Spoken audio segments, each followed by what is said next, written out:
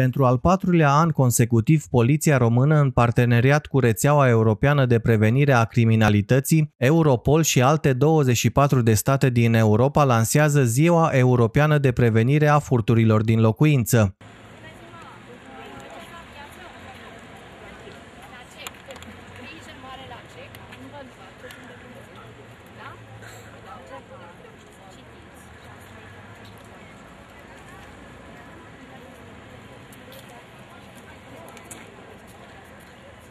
Astăzi este o acțiune pentru prevenirea furturilor din locuință.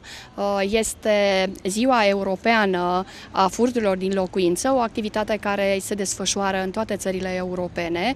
Uh, nu dorim decât să reamintim cetățenilor uh, măsurile pe care trebuie să le ia atunci când pleacă de acasă, care sunt acele măsuri care le asigură siguranța atât a locuinței cât și a bunurilor proprii.